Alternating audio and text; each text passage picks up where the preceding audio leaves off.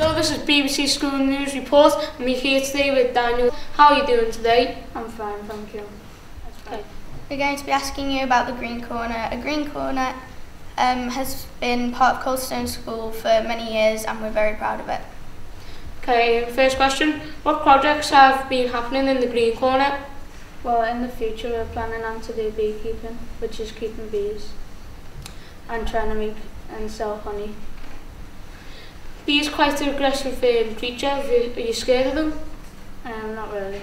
Have you ever been stung by one? Yeah, when I was little. Next question.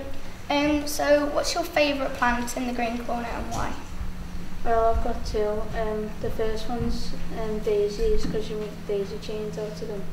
And then the second one is um, a sunflower because Van Gogh like painted it. Okay. So have you always loved the environment of flowers? Yeah. Okay, next question. What kind of things do you do in the Green Corner? Um, we like try and make new plants, like plant new plants. Is it for the environment? Yeah, we try and make it um, environmentally friendly as we can. Do you ever do group work or is it more normally independent? Um, sometimes we can do group work, but um, mostly it's independent. Okay, next question. So what's your favourite thing at the Green Corner and why? Um, planting new plants. Okay. Okay. Why did you join the, uh, the Green Corner?